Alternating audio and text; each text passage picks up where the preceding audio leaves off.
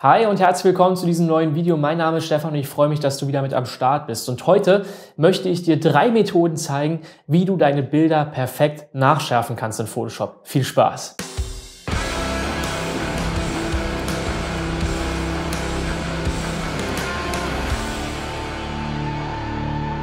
Ich habe das immer wieder so mitbekommen, dass äh, das Thema Nachschärfen in Photoshop beziehungsweise auch äh, generell in der Bildbearbeitung ein echt großes Thema ist bei euch.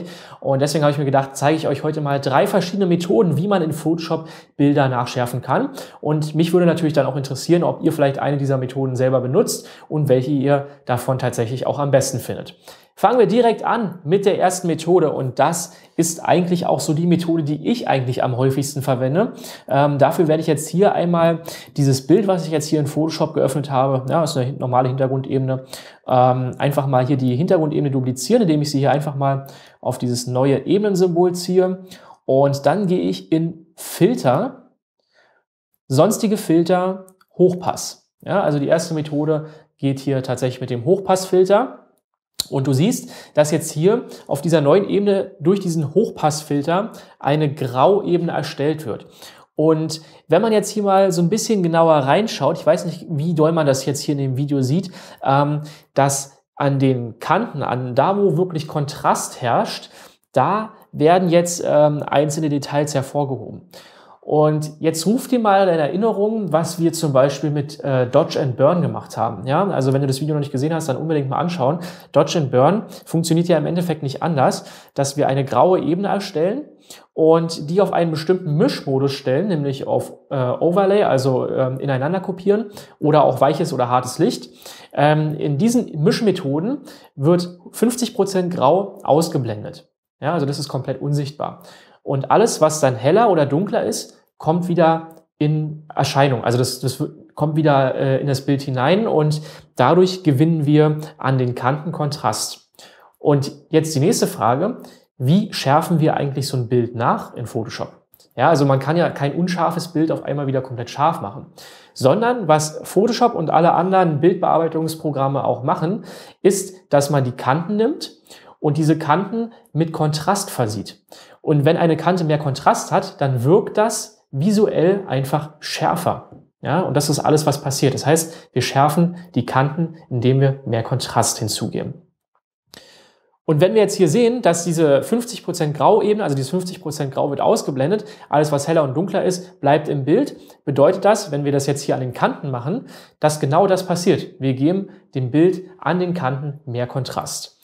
Und mit Hilfe dieses Radius können wir jetzt noch auswählen, wie dick diese Kante sein soll oder wie doll dieser Kontrast auch sein soll an den Kanten. Ja? Also je höher ich diesen Radius jetzt stelle, das kann ich jetzt hier einfach mal machen, dann wirst du jetzt auch sehen, was in dem Bild hier passiert. Ich habe jetzt hier die Vorschau aktiviert.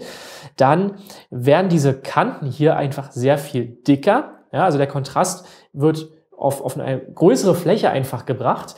Und ähm, wenn man das natürlich jetzt hier übertreibt, dann entstehen auch solche Halo-Effekte. Das bedeutet, hier auf der einen Seite siehst du, dass ein ganz großer Bereich der Kante dunkel ist, auf der anderen Seite ist ein ganz großer Bereich hell und dadurch entsteht dieser Halo-Effekt. Ja? Also man muss hier wirklich aufpassen. Je nachdem, wie viel Auflösung dieses Foto hat, empfehle ich immer so zwischen zwei und drei Pixeln hier zu arbeiten. Ich bin meistens bei zwei Pixeln. Und zur Orientierung, ich habe jetzt hier eine 36 Megapixel Kamera benutzt also kannst du dir ungefähr das Ganze ausmalen.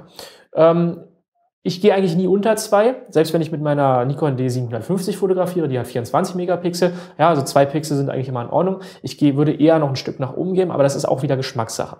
So, ich bestätige das Ganze jetzt hier einfach mal, indem ich auf OK klicke.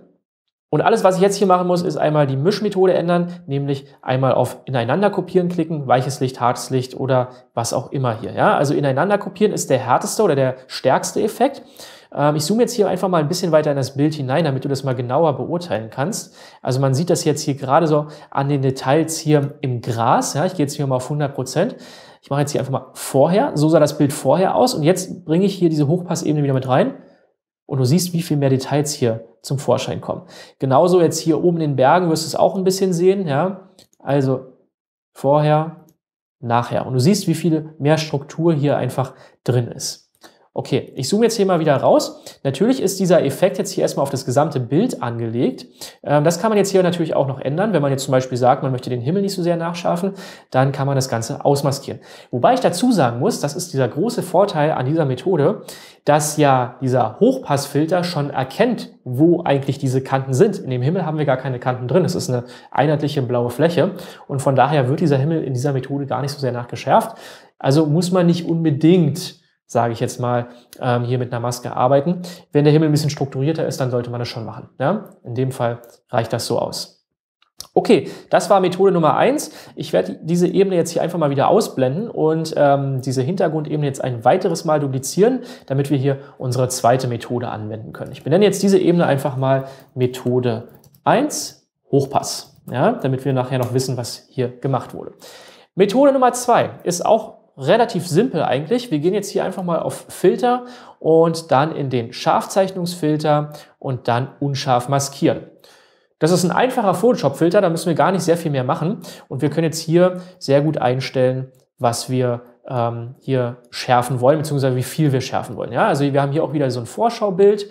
Da kann man dann ganz gut mal reinschauen, wie das Ganze aussieht. Die Vorschau hier ist auch aktiviert. Und ich bin hier wieder bei einem Radius, ähm, diesmal unter einem Pixel. Ja? Ich kann jetzt mal wieder äh, zeigen, was passiert, wenn man den Radius jetzt hier hochdreht. Dann wirst du das jetzt hier gerade so in dem Vorschaufenster oder auch hier direkt im Bild sehen. Es wird sehr, sehr unruhig. Ja, also das ist genau das gleiche im Endeffekt wieder. Der Radius bestimmt, wie groß diese Kante im Endeffekt ist, ähm, die dann jetzt mit Kontrast verstärkt wird. Und von daher ähm, bin ich da gerade bei diesem Filter immer dafür, das Ganze unter ein Pixel zu stellen, weil wir so eine sehr feine Schärfe bekommen, die dann aber trotzdem vollkommen ausreichend ist. Ja? Also zwischen 0,6 und 0,8 bewege ich mich jetzt hier immer so. Ich stelle jetzt hier mal 0,8 ein vom Radius und dann von der Stärke her, da kann man ruhig über 100 Prozent gehen. Ja, also da kann man eine relativ hohe Schärfe einstellen. Ich bin jetzt hier mal so bei ja, so 180 Prozent ungefähr. Das ist ganz gut. Den Schwellenwert lassen wir jetzt hier bei 0 Stufen. Ja?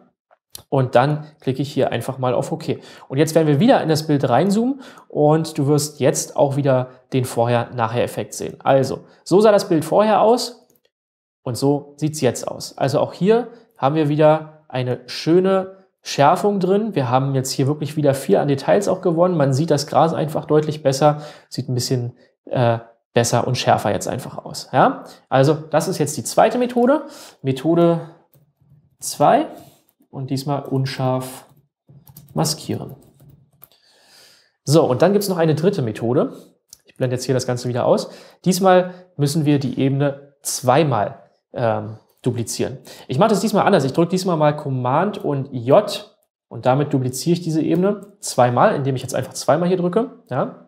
Und das erste, was ich jetzt hier mache, ist das Bild oder die Ebene einmal invertieren. Und das mache ich mit Command und I. Jetzt wird also diese komplette Ebene einmal umgedreht. Ja? Und was ich jetzt als nächstes machen möchte, ähm, ist den Mischmodus hier wieder zu verstellen und zwar diesmal auf strahlendes Licht. So, das sieht jetzt hier erstmal relativ komisch aus, aber wir haben auch wieder so eine graue Ebene. Hm. Also wieder sowas ähnliches wie davor auch. Was wir jetzt als nächstes machen ist, diese Ebene, die wir jetzt hier gerade bearbeitet haben und die darunter liegende Ebene, die haben wir noch nicht bearbeitet, die werde ich jetzt hier mal beide anwählen mit gedrückter Shift-Taste und in einen neuen Ordner packen. Ja? Also beide Ebenen sind jetzt hier angewählt und jetzt drücke ich hier unten einfach mal auf diesen neuen Ordner bzw. eine neue Gruppe. Ja, in Photoshop heißt es immer Gruppe, ich nenne es immer Ordner, keine Ahnung, ist eigentlich genau dasselbe. So, und diese Gruppe, da können wir jetzt auch wieder den Mischmodus verstellen und diesmal stelle ich ihn auf ineinander kopieren. Und jetzt sollte es eigentlich so sein, dass wir ähm, hier erstmal gar keine Veränderung haben. Ja, also ähm, ich kann jetzt hier diese diese Gruppe einmal ausblenden, wieder einblenden und du siehst jetzt hier erstmal keine Veränderung in dem Bild. Ich gehe jetzt hier in diese Gruppe nochmal rein und jetzt auf diese Ebene hier, die wir invertiert haben. Und was wir jetzt machen, dadurch, dass wir sie invertiert haben, also umgedreht haben, müssen wir jetzt den Filter, den wir jetzt anwenden, müssen wir uns also einmal komplett umdenken. Das bedeutet, ich schärfe diese Ebene jetzt nicht, sondern ich mache sie unscharf. Ja? Und dadurch, dass wir sie umgedreht haben, wirkt dieser Effekt genau auch umgedreht, und das Gegenteil von unscharf ist halt scharf. Ja? Also wir machen die Ebene unscharf, um es dann schärfer zu machen. Klingt jetzt erstmal ein bisschen verwirrend, aber ich zeige jetzt genau, was damit gemeint ist. Ich gehe jetzt hier wieder auf Filter und diesmal auf Weichzeichnungsfilter und ich nehme jetzt hier einfach mal den Gaußschen Weichzeichner. So, und was jetzt passiert, wow, du siehst es schon, 15 Pixel sind hier standardmäßig angewählt, ist wieder viel zu viel, aber das Bild wird schärfer, weil wir eben diese Ebene invertiert haben. Und ich werde jetzt hier einfach mal äh, den Radius wieder so ein bisschen runterstellen. Ich fange auch hier mal bei zwei Pixeln an, ja, 2,1 Pixel habe ich jetzt mal und ähm, mache jetzt hier mal die Vorschau an und aus, also so sieht's ohne aus und so mit diesen zwei Pixeln und du siehst, das Bild wird wieder richtig schön scharf. Ich klicke jetzt hier einfach mal auf OK und ähm, dann haben wir auch hier diesen Vorher-Nachher-Effekt. Ja, also diese ganze Gruppe werde ich jetzt hier nochmal schließen. So sah es vorher aus, so sieht es danach aus. Also, das sind drei verschiedene Methoden, wie man jetzt hier ein Bild nachschärfen kann. Ich muss jetzt insgesamt nochmal empfehlen, ähm, auch wenn ich vorhin das gesagt habe, dass bei vielen Methoden, das jetzt mit dem, gerade mit dem Hochpassfilter und so weiter, dass wir da ähm, den Vorteil haben, dass der Himmel nicht unbedingt nachgeschärft werden muss, empfehle ich trotzdem immer, wirklich äh, so ein Foto immer selektiv zu schärfen. Das bedeutet, ich male mir die Schärfe dann selber rein. Das mache ich jetzt hier einfach mal an diesem letzten Beispiel. Ich nenne jetzt diese Gruppe erstmal um, Methode 3. Invertieren. So nenne ich jetzt einfach mal diese Methode. Und dem Ganzen gebe ich jetzt noch eine Maske. Und wenn ich die Alt-Taste dabei drücke und dann auf dieses Maskensymbol hier unten klicke, dann kriege ich eine schwarze Maske. Das bedeutet, dass dieser komplette Effekt erstmal komplett aus dem Bild wieder rausgemalt ist. Ja? Denn eine schwarze Maske bedeutet, nichts davon wird angezeigt. Jetzt kann ich mir hier meine Vordergrundfarbe auf weiß stellen, einen Pinsel nehmen. Ich sage jetzt hier Deckkraft 100%, Fluss 100%.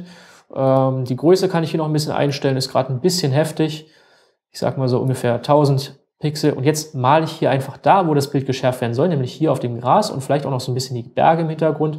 Da soll ja die Schärfe reinkommen. Ja? Und deswegen male ich jetzt hier mit weißer Farbe das Ganze wieder rein. Selektiv. Das bedeutet, der Himmel ist jetzt komplett nicht geschärft, aber hier die Berge, die sind komplett geschärft. Ich kann mir jetzt hier mit gedrückter Alt-Taste, kann ich einmal auf dieses Masken, äh, auf diese Maskenvorschau hier klicken und dann siehst du, wo ich hier gemalt habe. Und dieser Bereich, der jetzt hier weiß ist, dieser Bereich im Bild, der ist komplett scharf. Der schwarze Bereich, hier oben und hier unten, der ist komplett von diesem Effekt ausgeschlossen und das bedeutet, dass wir jetzt hier ähm, tatsächlich auch dann selektiv geschärft haben. Also, das waren jetzt mal drei verschiedene Methoden, wie man so ein Bild schärfen kann. Ähm, und äh, ich würde einfach mal sagen, schreib doch mal unten in die Kommentare, ob du eine von diesen Methoden benutzt und welche deine Lieblingsmethode ist. Und ich hoffe, ich konnte dir damit ein bisschen weiterhelfen. Wenn dem so ist, auf jeden Fall einen Daumen nach oben geben. Falls du noch Fragen dazu hast, einfach unten in die Kommentare damit. Und falls du es noch nicht getan hast, den Kanal natürlich abonnieren für weitere Videos. Ansonsten schau mal in meinem Online-Store vorbei. Da gibt es viele verschiedene Videotrainings, die natürlich noch ein bisschen tiefgründiger sind als das, was ich jetzt hier mache. Da hier muss ich es halt immer relativ schnell erklären. In diesen Videotrainings ist das sehr viel ausführlicher. Einfach mal vorbeischauen auf www.stefanschäfer-store.de und ich würde mich freuen, wenn wir uns im nächsten Video wiedersehen. Bis dahin viel Spaß beim Fotografieren und Bearbeiten deiner Fotos. Ciao.